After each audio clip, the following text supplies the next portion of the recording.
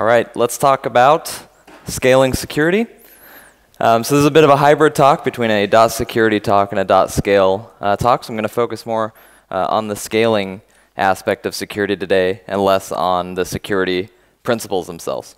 So when I say scaling here in the terms of scaling security, I actually mean two types of scaling. Um, I think the obvious kind, and then for, for technologists, the obvious kind, and then the less obvious kind. So um, when I talk about scaling, I'm talking about both scaling uh, people, as people grow in your company, the number of engineers, the number of people consuming the software, um, managing the software, so on, as well as the, the applications themselves. And, and for the applications, it's also uh, not just the infrastructure required to launch the application, to run it, uh, to maintain it, but also the number of applications. A very common trend today is pretty much every company out there is just writing more applications. You don't just have one big web application anymore, or even if you do, there's usually a number of smaller ones helping to support that thing. Um, so in this view where you have both things growing, usually at the same time and hopefully very quickly for your organization, um, how do you maintain sort of a security, uh, a, a, secure environment as well as a security mindedness about the whole thing? Um, so this is a very common pattern or anti-pattern, however you want to view it, but um, you know, you have the developers, they code, you have operators, they uh, are responsible for maintaining the, the, the, infrastructure that the applications run on, and then you have the applications themselves uh, that have to uh, be redeployed and changed and so on. Um, a very common word used today is DevOps, which is sort of the idea of trying to you know, make this more efficient. And maybe it's not DevOps, maybe it's something else for you. But I think there's a ger general abstract agreement um, that we're trying to make this faster by making developers and operators move together. And I think that as an industry, we've worked really hard to enable this via tooling and other processes for the past, I mean, it feels like, like a decade, basically. Um, and recently, I would say in the past two years, um, the conversation that I, the conversations that I've been having um, with most people have kind of switched to where they figured this out, or they they at least see the path for how they're going to get here. And the conversations are now switching into security. How does security play into this whole thing? Um, for uh, the more forward thinkers, uh, security has always been a part of it, and it's a very obvious thing. Um, but for still many, many organizations, it's, it's become an afterthought, and now, uh, since it's been so many years as an afterthought, afterthought, it's just at the front of the line of something we need to figure out. Um, the, a story that always stands out in my mind is when I talk to a company about how to get their deploys faster, and one of the um, higher up managers stepped in and said, no, we don't need faster deploys. Yes, our deploys take over a day, but it doesn't matter because it takes two months to update the firewall rules. So don't like don't worry about the deploys right now. And so it's like that's just the you know that's an effect of security just being in the back lowest priority for too long. And so it's really how do we solve the security problem? And to scale anything anything, there's really only three things you could do. You could do less of it and therefore do more as a result. Um, you could do that thing faster um, or you could do more of it in parallel. And all three of these things aren't mutually exclusive. There is some categories of things where you could do all three. But since we're talking about security, um, I argue that number one is just not possible. You can't really do less security unless you're willing to give up some security. Um, so then you're really stuck with the latter two. You want to be able to be secure. When I say do security, it's kind of a weird thing to say, but you want to be able to be secure um, faster, more efficiently, and you also want to allow more people to allow your organization to be secure. And that's what we're really going to talk about.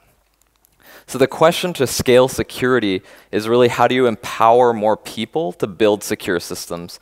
And I think this is interesting because this is more or less the question that when DevOps started becoming a word, like a noun that people used um, maybe like eight or nine years ago, it was about how do you empower more people to build, manage infrastructure, to be more responsible for production so there isn't this split mentality between developers building applications and operators being responsible for when they go down. Um, and that's really what people have worked on. And I think it's the same question we're asking now, which is how do you empower more people um, to take security into their own hands without compromising the organization.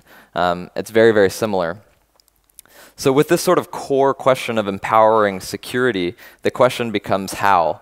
And the how is different for each type of person uh, in the pipeline. So using these broad categories of dev, ops, and security, whether those are very similar people to you or, or siloed people for your company, these are the general patterns that uh, we've found are really important to hit.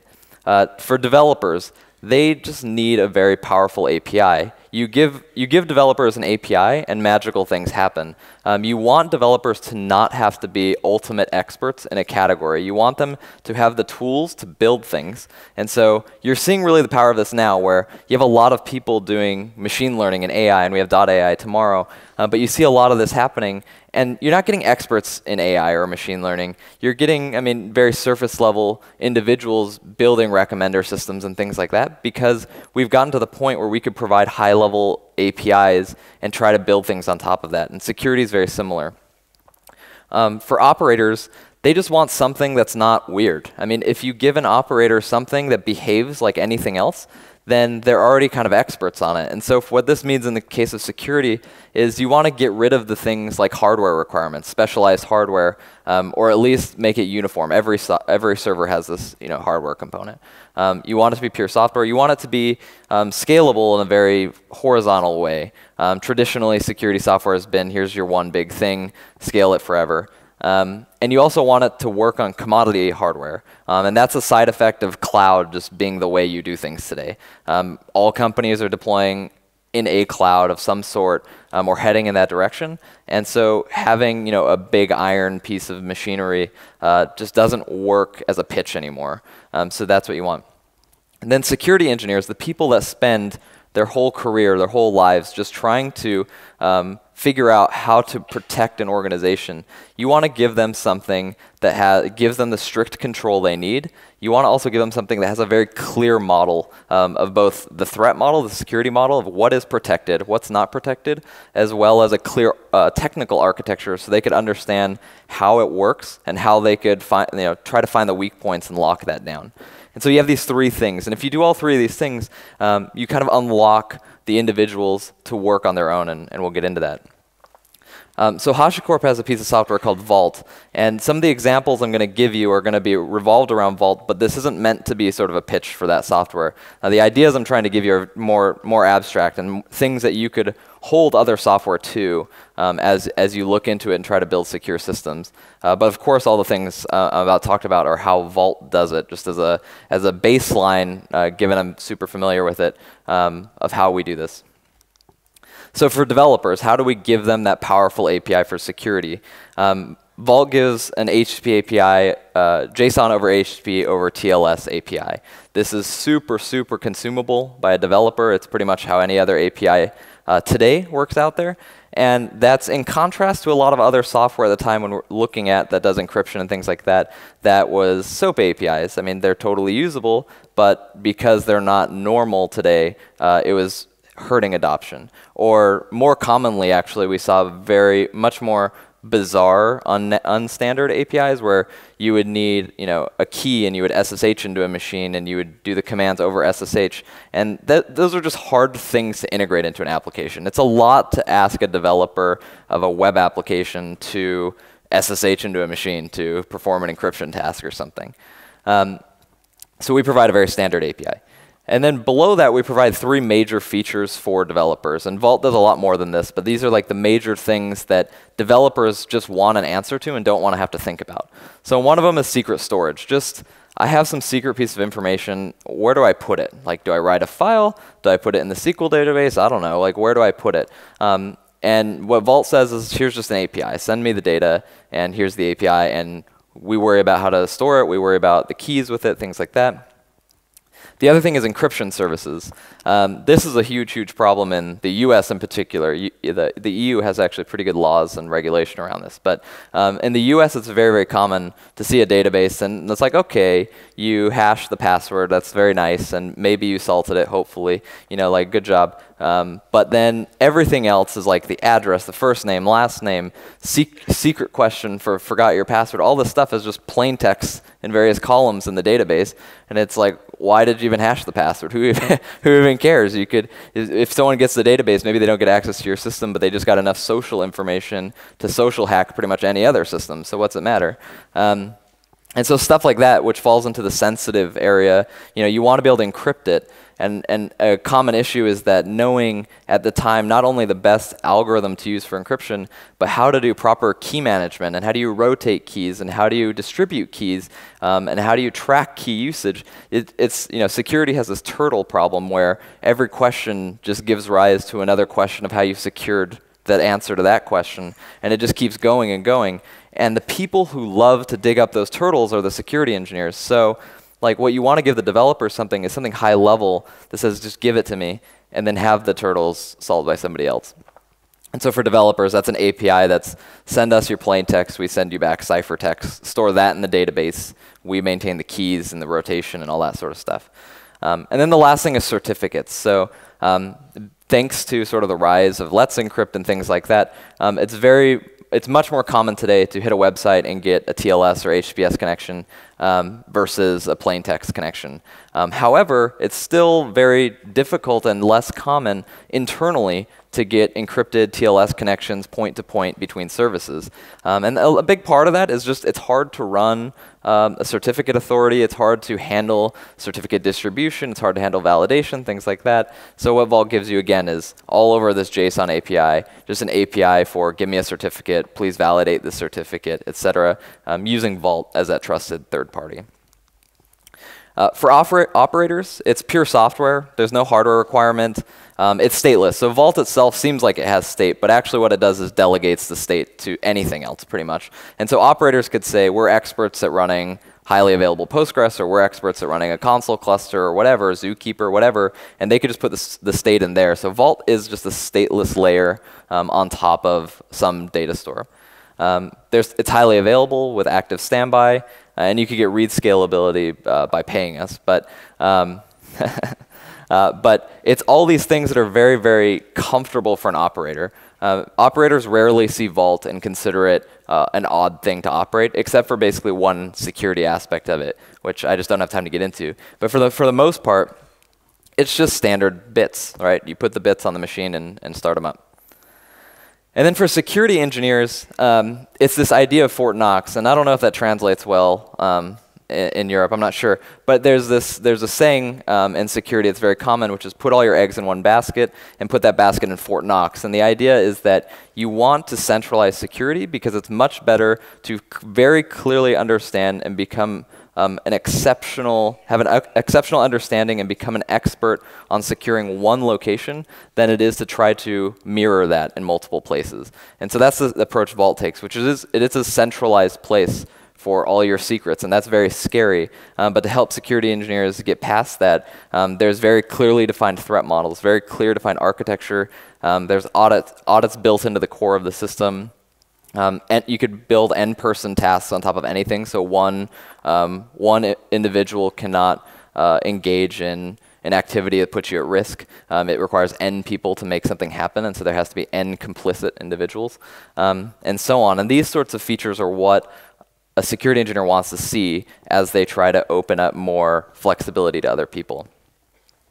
Um, and here's like a diagram. I realize, oh, you can kind of see it. Um, but uh, here's like an architecture diagram we give you know, security engineers of how Vault works. And it's not like marketing material. You know, as, as one of the people who wrote this thing, it's really internally how it works. And that really helps these security engineers understand uh, and ask the questions. It's like, what if this, what if that, which they're very good at coming up with.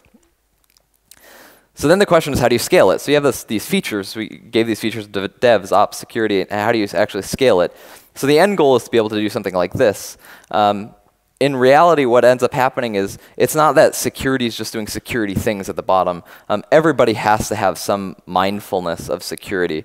And so, in practice, the way we see this break down um, is, is, this kind of thinking. Um, and I'll go bottom up. And so, at the bottom, you have the security people. They, like I said, dedicate their careers to thinking about securing an organization.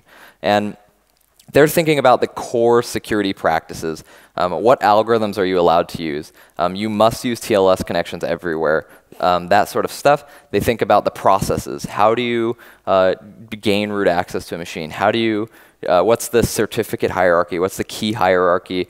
Um, how do you become part of the organization's security council? Like they figure out all the processes and the minutia of security and the details. Um, and and they also usually maintain like audit logs periodically, do audits, look at them, so on. And they're really dictating to the rest of the org this big picture. This big picture. They should not be reviewing every commit. They should not be reviewing potentially every release. It should really be a, a a thing of trust where they're giving you the big picture and trusting the upper levels to adhere to that, but using Vault's access control and auditing as a way to double check. It's a trust but verify system. Um, then above that, you have operators, and they're maintaining infrastructure and building infrastructure. And so what they care about is actual infrastructure security. Um, what's the networking layout? Um, what servers could talk to each other? They're, you know, and you cooperate with security with this and, and work together. Um, but also you know what ports could be accessed and where do apps need to go to talk to other apps of similar security profiles, um, that sort of stuff. And they're building all that layer. And then again, delegating responsibility further up the chain again in a trust but verify system. And so the trust is that you will follow these rules. The verify is that you'll check that infrastructure is there, but you're also, you know, not allowing certain communication. You're blocking certain ports, or you're blocking non-TLS connections at the switch layer, or something. There's a verify step in there. Um, so then at the top you have developers, and what you're giving developers is just guidelines for um, you need to encrypt all data that could be considered sensitive. It's up to you to understand what that means and use your best judgment of sensitive nature. Please encrypt it. Here's a high-level API. It's easy. Just do it. Um, um, use TLS connections to everything. Don't make plain text connections to anything. You're trusting developers to be able to do this. Um, and they're using their standard developer techniques of PR review and so on to do it. Um, I just realized I have slides to actually say all this, so I'm just going to skip those. Um, and so it's this, it's this method of trust but verify at every level. You need to release some level of control while knowing how you could double check that if you need to. It's not completely making it invisible, and not your problem. Um, and this is really the only way to let this go. So going back to that original company that took two months to update the firewall rules. It's because developers were free to pretty much deploy and do whatever they wanted. But the issue is when it came time to go to production, the, the security team had to do a full review of that application and understand why it needed the ports it needed, why, who are you allowing traffic from, all that sort of stuff, and then update actually a giant Excel spreadsheet in order to allow this and make sure it doesn't violate any other rules. Um, and then let it through. And so there's this just huge bottleneck as they, they, they paralyzed dev and ops so well to make this fast deploy, fast app build process, and it all just centralized on security. Um, and actually today they've switched more to this, which is they embed security people on every team for the verify step. So app developers are responsible for it, but every N app teams actually has a security engineer that only focuses on those apps. Um, and they've been able to split it up and, and, get a lot better parallelization to speed this whole process up. Um, and that's really how you grow sort of without compromising security, uh, and you could scale security with your organization. So thank you.